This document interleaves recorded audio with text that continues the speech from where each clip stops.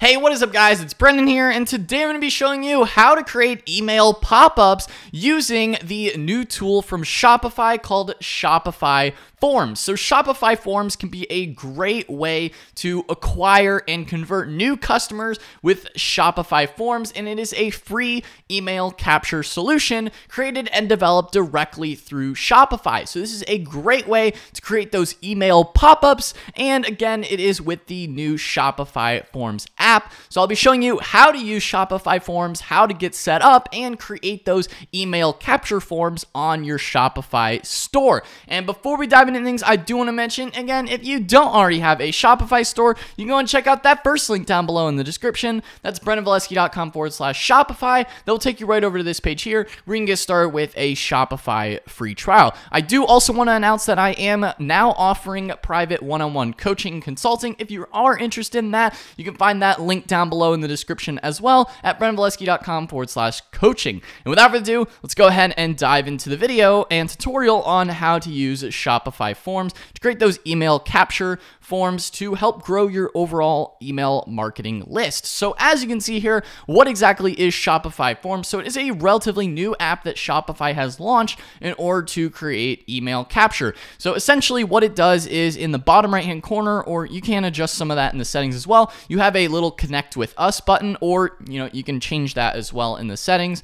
And then it pops up with the little email pop-up, see let's be friends, get 10% off your first order, join the mailing list, and then people can subscribe to your email list, and then you can continue to remarket to them uh, to help you know convert more sales and do whatever you like to do with your email marketing list. It's a great way. Again, you can incentivize people with discounts as well, uh, and you can track all of the analytics and performance. And again, it is all native to the Shopify platform, so you don't even have to leave or use any other third-party apps, which is one of the nice benefits with using a platform like Shopify Forms or using the app Shopify Forms as well. As you can see here, uh, you can set up and customize the discounts whether you want to offer a 20% off discount, 10% off. Uh, you can time and target things with the triggers, and you can customize it to your brand, matching the overall styling, colors uh, that really match your specific brand needs, and making sure things look uh, exactly how you want them. So you do have a lot of customization options in here as well. Uh, again, you can also then set up and send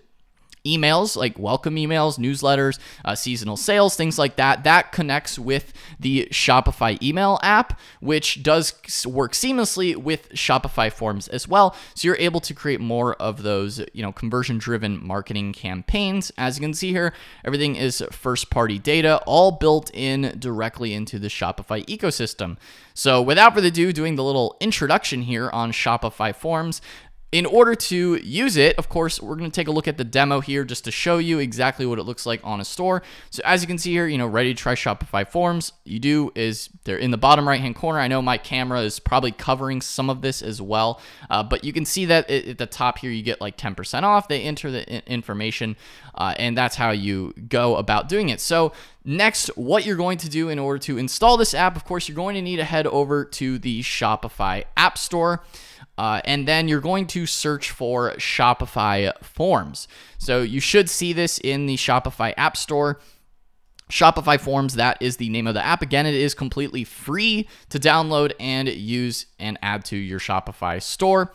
Uh, so, as you can see here, you can clearly customize, engage your audience, uh, add discounts as well directly within Shopify Forms. I do have other tutorials going over uh, how to create other discounts as well, more specifically.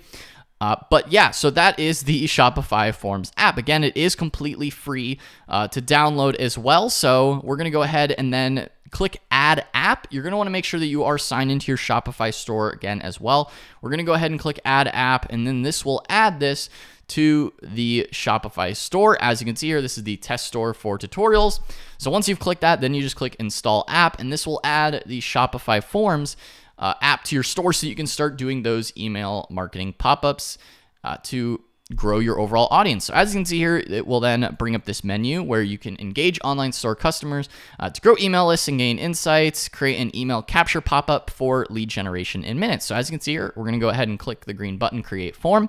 And then this will set up the uh, form creation area. So by the default, this is the template that they give you. So stay in the know, get inspiration, new arrivals on the latest offers to your inbox. So that's just a basic uh, template. Of course, you can create uh, discounts as well. So if you want to add a discount, it is super easy to do that. To add this to your email pop-up, all you have to do is click select discount. Uh, and you can easily add it right here. Now, I've already created these discounts on this Shopify store. If you do want to learn how to create discounts more in depth, covering all the different types of discounts, I will link that video in the card here. So feel free to watch that video if you want to learn exactly how to create uh, different discounts. It is pretty simple and easy to follow and straightforward. Again, if you already have a discount on your store, all you have to do is select it from this menu. Uh, we're going to go ahead and go with the save 10% off, one use per customer, uh, save 10, 10% off entire order. So we're going to add that discount here. Alternatively, you could also click create discount from that menu there. Uh, so as you can see, now it are automatically added, hey, 10% off entire order uh, one use per customer. So it automatically added that text there just by selecting the discount, which is pretty nice. Just saves you a little bit of time in terms of figuring out how you want to prop, you know, advertise this to your customers. So in terms of the display type, you can create this as a floating or an overlay. Personally, I prefer the overlay because it sort of just takes up more of the screen. Uh, we will be taking a look at what it looks like on the live version of the store in a little bit here as well. Uh, but we'll, we'll go with the overlay uh, versus the floating. If you you know if you prefer the floating, it just stays in the bottom left hand corner. You know you could stick with that as well. I like the overlay. Uh, just depends on what you want to go with. Uh, show to customers first before the form. So you could also do that as well if you just want to uh, see after the form is closed. Show to customers first before the form. This is what customers will see first. It will display in the bottom left hand corner of your online store. Uh, so you know, that's the little teaser tag. If you want to add the teaser tag, that's sort of what the uh, demo store has in terms of uh, get uh, get like get 10% off. That's your little teaser text. So you can also preview what that looks like in the top right hand corner there. Uh, so you can set up little teaser text, show to them before uh, the form that is recommended, obviously. Uh, so you can give them the little teaser text. And then once they actually open the form, uh, you also have this text here. So you have your first name, email. Uh, you can also add additional fields as well. So 10% off entire order, uh, get inspiration, new arrivals, and latest offers. So that's one thing you could do there. You could also say get 10% off your first order, uh, something like that. So get uh, 10 you know, 10% off. We already have that there, of course, in the uh, 10% off your first order. So that's something you could do here. You can type in your get 10% off your first order. Inspiration, new arrivals, and list offers to your inbox. So you can do that there as well. Uh, just type in the text. Of course, you can also insert links, italics, bold. You could even bold the 10% off if you want it to just, you know, pop a little bit more. You could do that there as well. In terms of other form inputs, of course, first name, email, you definitely want those fields there. You can also enter birthday and last name. You don't really need last name. Uh, you just have that option there if you want it. And you can add birthday. Again, if you maybe you're interested in offering uh, birthday coupons or if you wanted to give uh, a special birthday gift or like a birthday celebration coupon, something like that. You can also implement that there. Uh, in terms of the button label, sign me up. Uh, you could do that. You could also say get 10% off or something like that. Uh, by admit, by submitting your email, you agree to receive marketing emails. So you definitely want the consent disclaimer. It says optional here. I would definitely recommend keeping that templated consent uh, just so that you know you're following everything that you need to in terms of email, uh, general email marketing practices. Once you have this here, you have the title and content of 10% off your entire order. So save 10, it will then pop up populate with the discount code that they can click to copy paste. Uh, which is really nice there as well. So it's very easy for them to see the discount code and copy and paste it for their order. Uh, so that's what the success message will look like. And of course, you can edit that here if you want to change it. Uh, and then you have the overall styling. So to see the styling, uh, we'll go ahead and click back on the button label. So you can change the overall background, text, accent colors, the button, everything. We're going to leave this default for now, sort of. Uh, I mean, as you can see here, this is sort of what it would look like. Uh, if you did want to edit that, you know, changing out the colors, making it sort of uh, match your overall brand aesthetic. Uh, so I sort, I guess I like the baby blue sort of thing going. And you also have bottom left, bottom center, depending on the position that you want it. You could even have it rotated, uh, which is cool. Sort of makes it a little bit hard to read depending on the device that they're on. Uh, now I'm going to go with bottom left because currently we already have the Shopify inbox app added to the store. So I know my camera is covering it, but there is something already in the bottom right hand corner for chat with us, which I know a lot of you guys, if you are using the Shopify inbox app and the whole chat feature, it will put it in the bottom right. So that's something to keep in mind if you are also using that app is to maybe position it in the bottom left just so that it doesn't overlay weird. Or you could also go center, like middle, bottom center, you know, middle right, middle left, something like that, just somewhere where it's not getting blocked by maybe another app that you have. So it's nice that they do give you a lot of positions to work with here. So we'll go with bottom left. In terms of images, you can also uh, add a little image or something if you want. Uh, I'm not going to be adding uh, an image really here. I mean, you can add an image if you want. Uh, don't necessarily need to do that. We'll just go with no image. Or you know what? We'll we'll test one. We'll test one, right? We'll go with the pants uh, or a face or something. So we'll go with the uh, we'll go with the t-shirt here, right? So if you want the uh, a background or an overall image, uh, you know, you can see what that looks like. So if we go here, back to the form, as you can see here, this is sort of what an image would look like on there. So actually, we'll stick with the image. That looks kind of cool. Uh, so you can also add, as you can see here, uh, an image. Maybe this is like a, a, popular influencer or someone else that you want to prominently feature on the email marketing form. You know, in terms of conversion rates, maybe not necessarily the best idea to throw extra things and stimulus in the image here, but if you want, hey, that's something else you can customize here uh, with the email pop up form. So it is cool. Course, you can also set it to go right or as the background image. So if you do want a background image, that's how you do it. I know that looks kind of wonky uh, there. You can also sort of make it uh, like that with the image opacity. So that's kind of a cool little uh, customization there. So I guess we'll we'll stick with that, I guess, for now. Uh, but as you can see, lots of different options in terms of how you want it to appear. Uh, you also have your behavior devices. So if you want it only on desktop, if you want it only on mobile, or you want all devices, I would recommend it to go on all devices. You can also have it show on all pages, show on specific page types, trigger display on first page view. Definitely would recommend that. So show form when visitors attempt to leave the page. I would definitely recommend checking that. That can improve your overall conversion rates because it's when people go to leave the page. I'll show you what it looks like, uh, but that is definitely something worth adding to trigger. And you can also create email automations as well uh, so that you can connect your with customers automatically after they submit the forms. This is through the Shopify email uh, app where you can send new subscribers an email with a discount welcoming them. So they will get the discount here. You don't necessarily have to send the email, but that is a good automation I would recommend doing if you have that.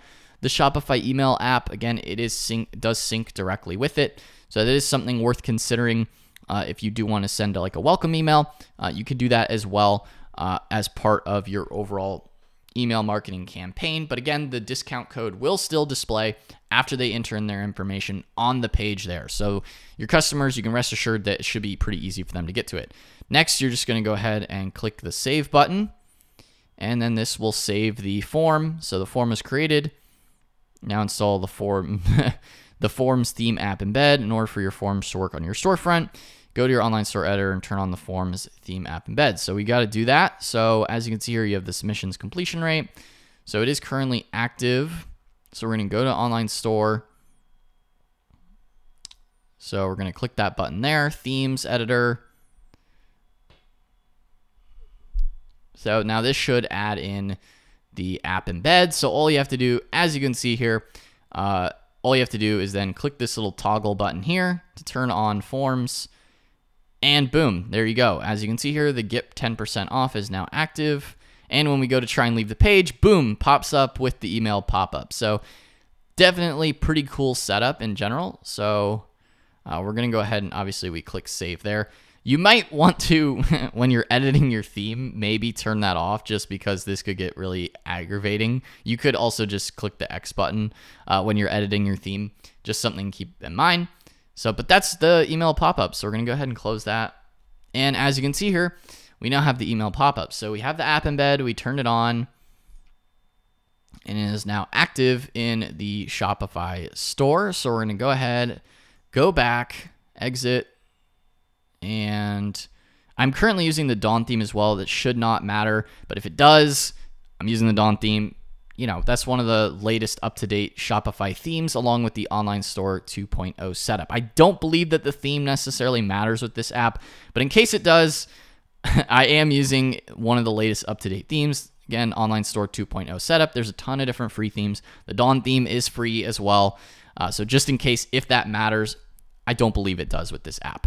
So we're going to go back to the app, the Shopify forms. So we're just going to search here for forms. And that will bring us to the form. I would probably recommend pinning it to your navigation just so you don't lose it. Uh, that makes it a little bit easier. And as you can see now, it is currently active. We're going to go to the live version of the store, refresh it here. And as you can see in the bottom left-hand corner, we have get 10% off. You click it and boom, 10% off your entire order. Get 10% off your first order. Inspiration, new arrivals, and the latest offers to your inbox. So, boom, that's it. That's the email pop up form here with Shopify Forms. Again, pretty sleek, pretty nice, and it is all directly set up and managed through Shopify. So, you can rest assured that it is well optimized and well connected, at least just directly within the Shopify app. So, another nice thing as well, I did show clicking uh, if people go to exit the exit intent pop up. So if people are scrolling around on your website, uh, you know, da, da, da, da, da, it, and this only works on desktop, and they go to exit your page, well, it already triggered. So we got to refresh that again. so if they go to exit your page, uh, it should trigger the exit intent. So it because we already just triggered it uh, a little bit ago, it may not trigger again. Uh, so that is at least something nice. So it won't just keep triggering on people if they keep going going to different pages. So there should be a cookie uh, that keeps it from just constantly triggering, which is nice. Uh, but you did see that basically when people go to exit the page, it will automatically pop up so that they see uh, the 10% off or whatever your email pop up shows uh, that you want to add to this form. Again, you can customize it exactly however you like. This is just one way of customizing it, and I hope you guys found this tutorial helpful on how to use and install the Shopify Forms app. This is a great way to capture emails.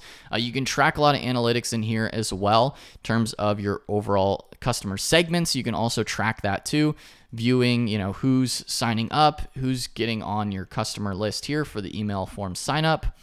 Uh, but yeah, that's pretty much the Shopify Forms setup in general how to use it, what it is, and what it looks like. I think it's pretty nice. I think it's pretty sleek in general to add those Shopify email pop-up forms to your Shopify store. So guys, I hope you found this tutorial helpful. Again, if you don't already have a Shopify store, you go and check out that first link down below in the description. That's brennanvaleski.com forward slash Shopify. We'll take you right over to this page here where you can get started with a Shopify free trial. Again, I also am offering one on one coaching, private one on one coaching consulting. If you are interested in that as well, that will also be linked down below in the description. That's brennanvaleski.com forward slash coaching.